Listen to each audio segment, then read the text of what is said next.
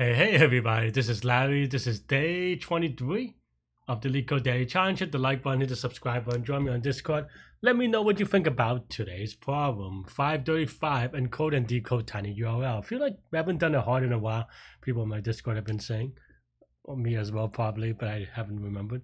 Okay, so tiny URL. Okay, blah, blah, blah. Do, do, do, do, do. Okay. So, yeah.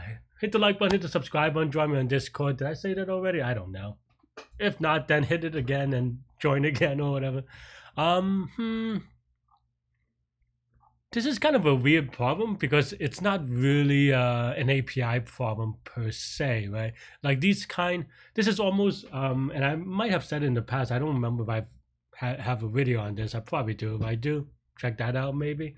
But this is more like a system design problem, right? And as a system design problem, there are a lot of nuances that goes into just um, making a surface that has um, an API or an abstraction uh, with an endpoint, right? So like, so to that to that point, uh, it's kind of weird because like you can do anything. Like maybe oh, actually, uh, I just noticed this part. I actually skipped it.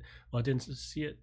Uh, but in either case, right? So this is a system design problem. So so in a way, um, I don't know that you're going to get this as a programming exercise, uh, or at least not uh, a live programming interview, right? Like maybe it could be a take home and be like, oh, you have this thing. How do you design this to be scalable? And of course, that uh, you know that that sentence is easier said, and it's really hard to kind of. It's not really hard. People have done it, obviously, but it's it's hard to um, do it by yourself in the sense that it is meant to be a communication thing with system design. And maybe one day I'll do a system design video. Let me know in the comments if that's something you're interested.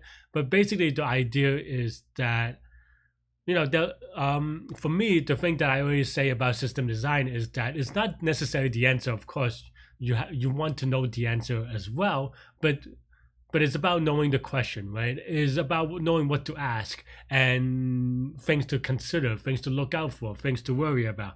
Um, and those things will kind of add up to be what system design is like. And of course, the you know the answers of those to those questions are important as well. Um, but is less important in the sense that you can look it up uh, or you, you, know you find someone that's more of a domain expert with respect to the read write access patterns and stuff like that right? Um, i'm not going to go over it that deeply per se but there are a couple of things that i would say if i was doing this as a system design. I don't want to make this a long video also because i'm a little hungry so i'm going to go get food right afterwards. But but the thing that i would say is maybe like look at uh, one look up the or, or consider the the access patterns, right? This is probably going to be um mm, there are a couple of things you to consider, right? Like it, it's probably going to have more. Well, I mean, it, um, I guess it doesn't have to be, but it probably have go, is going to have more reads than writes. Um, writes, however, have some like mm, sort of atomicity that, that uh, probably that you need, meaning that it has to be uh, unique, right? You don't want to create the same encoding, for example, for multiple uh, things. And also maybe as a side thing, you can also have same URL mapped to the same short URL just so that you don't keep on creating the, the, the same short URL. But that might not be uh, that might be a product question, for example, right? Because because it could be that you want a different short URL for the same URL so that you can track it differently, like for literally for tracking purposes for a different source or something like that. So that could be a thing. That's a product question. That's a product decision. Um, and then even on the read part, right? There, there are a lot of like you know standard scalability techniques. I'm not going to go into it with respect to just like uh, distributed uh, uh, uh, or consistent hashing, distributed stuff. You talk about a cap if you like. Um, you want to talk about um, you know the trade-offs and stuff like that with respect to caching um probably distributed caching and and then you you know you may even want to talk about hot sectors or hot uh hot machines. Hmm, i'm thinking I'm, i haven't studied or anything so so these are off my head. So I, my terminology may be a little bit off because it's been a while. But yeah like you have hot uh, machines you have hot uh, things because maybe certain uh, certain um, certain URLs, like maybe there's a, a a sort of a what was that distribution called? Oh my god, like Binet uh, number or something like that, or or uh, but basically there's like this uh, inverse exponential distribution or whatever, uh, right? Where like most of the the links will be on i don't know and th- these are things that you also find out from looking at the uh, distribution of the traffic patterns.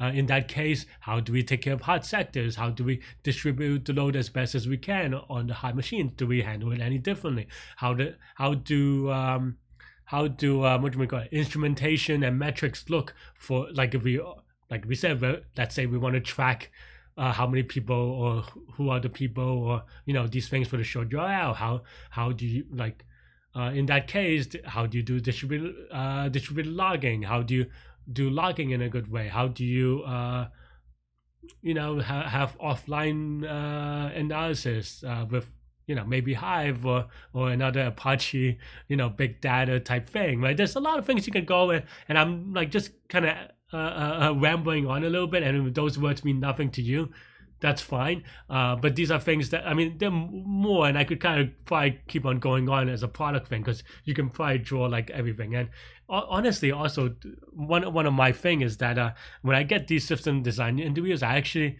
uh, have some trouble with it only because I have too many things to to possibly kind of design, uh, and and I I need to be me personally need to be better about the communication of okay what is the scope that uh, the interviewer wants? Because i can actually go all day. I have i have maybe i have too much experience in that respect in that like i can talk about like the offline shipping the logging uh, all these things. Um even for example you you, you may uh, look at some of these things as a black box but even distributed logging or distributed tracing all these things have um uh, uh have uh, what you might call it, single point of failures we don't use the right way. Because like for example Kafka uh, hmm, what was the older version? Maybe six or seven? I don't remember the Kafka version numbers uh, which is maybe good. Like have single points of failures and Kafka 8 is a little bit better. And there's you know at least once at most once you know some of it was a lie in the past and exactly once right? So there's stuff like that.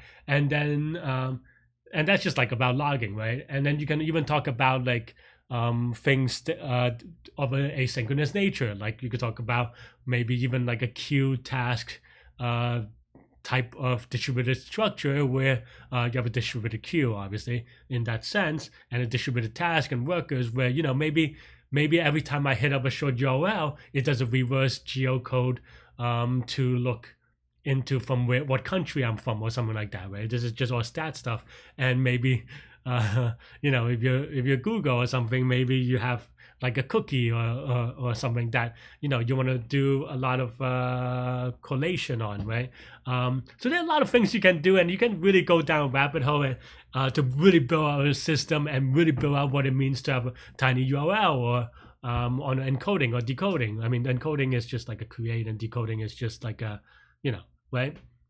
Uh, so obviously, all that said, I don't know how long have I been talking. I've been talking for about uh, uh, maybe five, ten minutes, right? And I didn't even really talk about any solutions. I'm just talking about different paths that you can go for system design, right? And they're definitely like you can focus on some and focus on others, um, depending on what the interviewer wants and what level you're interviewing, etc. Um, with all that being said, uh, so yeah, so this is going to be kind of useless. So uh, so yeah, so I mean, it, it really, uh, yeah, I mean, you can do it either way. Um, yeah, so there are definitely ways you can do it, uh, but it really just doesn't really make sense as a coding problem, only because like, I don't know, what you can do, have a counter and a lookup table, and you just keep on adding and and a reverse lookup table or something like that. But of course, the problem is uh, or, I mean that that that'll be fine for this problem. I mean, a lot of things can be fine for this problem, but then you uh, when you get too big, then you know, like when things don't fit in one machine, that's when you know we talk about system design, right? And uh, and yeah, and it, and then and we haven't even talked about uh, uh, a lot of different things with, with, respect to latency and how to do distributed caching. Oh, okay. Anyway, like I said, I could ramble on all day about system design. Um, it, there are a lot of different places and design decisions.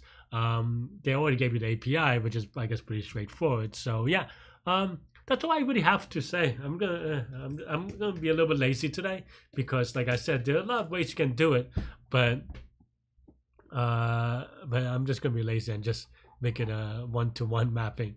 Uh, wow, the link could be really long actually, but uh, but yeah, let's give it a submit. Uh, I haven't done this twice, so yeah. So let me know what you think. Let me know what your comments are, and yeah, I mean, uh, this isn't that interesting of an actual you know, coding problem. I mean, it could be interesting, but even on a system design, I mean, not necessarily system design, but like even if you code this out in a system design friendly kind of way, uh, meaning you want to show the scalability, that's actually a fun project that I always recommend, right? So that that's one thing that I always say about system design, and the best way to practice it is to take something, take a service or something that you like, and it could be any I don't have my phone with me, so I was looking at my phone.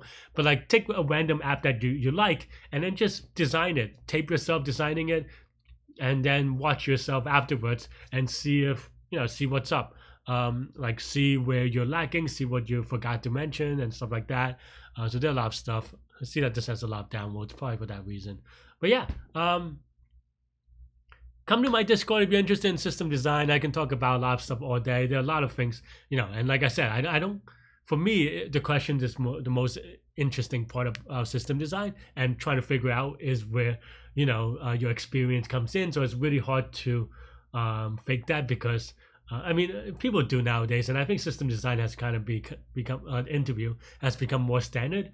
But I think like when I was younger, that was not the case because I feel like a lot of the questions you ask is because uh, no one had that experience uh, or not no one, but like very few. And the, the things that I've learned uh, are from seeing things fail in real time and everything. Uh, you know, there was an outage or uh, everything failed, and that's how I learned my lessons the hard way. So uh, I don't know. So yeah, um, cool. That's really all I have. Let me know what you think. Uh, like I said, but it's Friday or Saturday, maybe depending on where you are. So have a great weekend. Hope you had a great week. Uh, stay good, stay healthy, Take good mental health. I'll see you later and take care. Uh, bye bye.